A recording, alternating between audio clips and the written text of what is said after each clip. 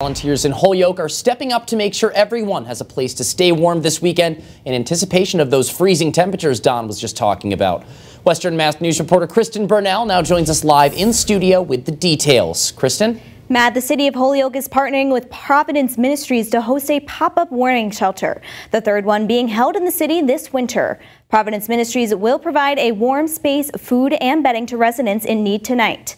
The city's emergency management department began a pop-up warming shelter pilot program last month, with the first two shelters being held at Mount Tom Masonic Lodge, which served 27 unhoused individuals. Western Mass News spoke with the executive director of Providence Ministries to find out how they hope to assist those at the shelter so they can anticipate being able to be taken care of tonight.